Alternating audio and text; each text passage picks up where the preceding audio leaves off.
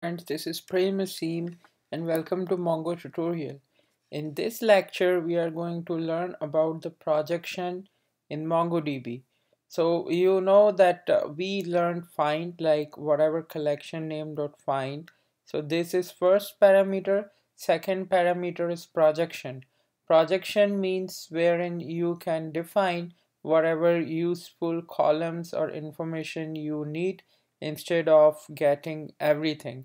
So just to understand and relate it with MySQL stuff, we can do something like, let me show you real quick.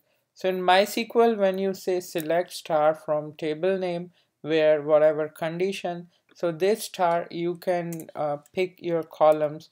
Let's say uh, if you are, if you want the name and if you want the rank, so you give the column name that selects uh, some column name from your table name where condition meets. Same thing we can write in Mongo by db dot collection dot this is our find. In find there are two parameter. One is parameter one which will be your search criteria which which is like filter. We can say parameter one is filter and you have to do comma and then you have to write the projection. Parameter 2 is projection means selected columns.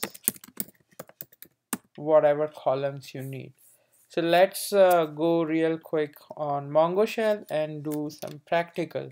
So I have a collection which is called as find so it gives the results which is like cluttered. It's not presentable. It's hard to understand.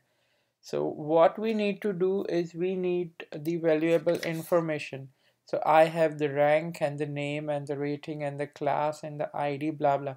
And ID looks really ugly because it's not something which we need or understand every time but it's for the internal purpose of Mongo so if you uh, we have to pass the first parameter we can give any condition or cannot but the second parameter is projection. If you leave it empty projection means whatever column names you need if you leave, leave it empty it will give the same results there would be no error. However you can mention the column names.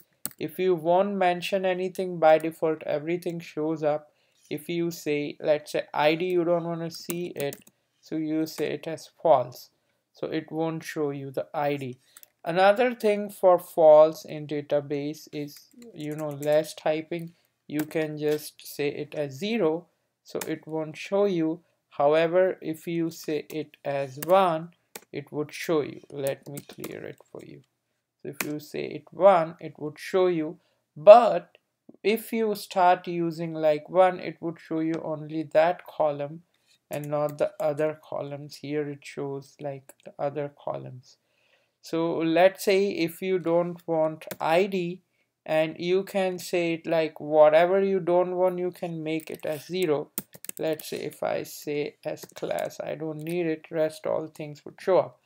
Other thing is whatever you want to see you can just you know say it uh, as one. And please remember that uh, it's sequential. So if I say who was at rank 1 I want to see it. I can type it as true or or I can give it number 1 it's the same thing. I want to see the name. I say it as true. So this is like how uh, I see it like in a very proper way instead of uh, you know it's not messy it's like very clean that's what the projection. If I want name first and then the rank that can be done just by changing the sequence of the columns. So I say now rank and as I told you you can do it true or one it doesn't matter it would show you. So this sequence has been changed so this is what projection is basically all about. I just want to show you one more thing before we finish is you can always filter it from here. So filter and projection will work work uh, together. So let me filter it on the name and the name has to be let's say Prem Aseem I searched but no result came. Why because this is case sensitive. MongoDB is case sensitive. So the result which is shown up here it's in kind of camel case. So now it would show. It shows with the projected results. I can just say give me the name and it give. So that's how uh, whenever you query you can use your second parameter in your search clause or your like find to get the meaningful results and get rid of too much of information uh, yeah. So uh, if you have any comments or question get back to me on mail or leave your question as comment. Thanks for watching